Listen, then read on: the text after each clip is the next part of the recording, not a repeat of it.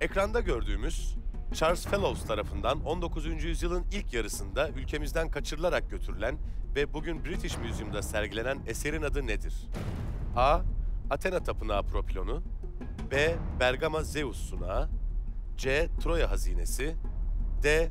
Nereidler Anıtı Şimdi ülkemizden böyle kaçırılan çok eser olduğunu biliyorum.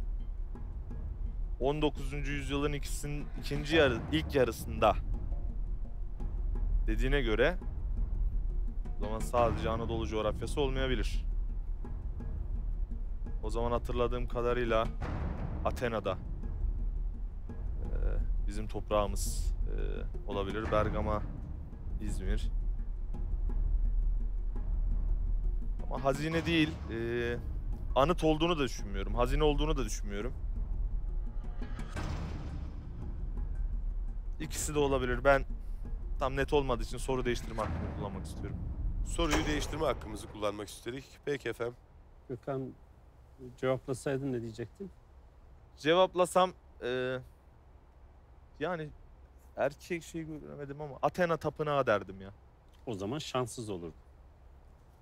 İyi ki dememişim o zaman. Nereitler anıtı olacaktı. Ha, yani ilk elediğim de o.